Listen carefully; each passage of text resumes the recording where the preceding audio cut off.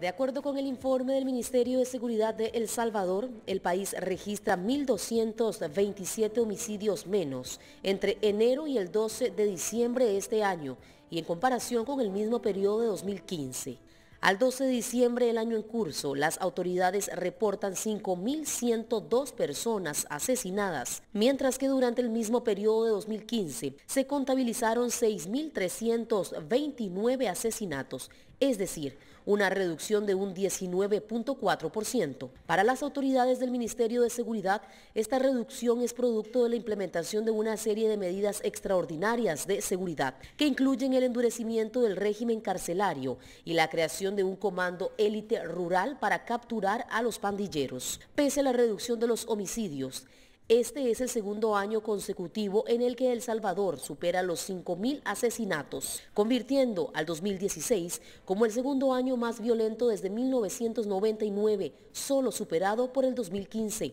Sin embargo, las autoridades de seguridad destacaron días atrás los avances en la lucha contra la violencia y la criminalidad y aseguraron que el 2017 será el año de la victoria contra las pandillas.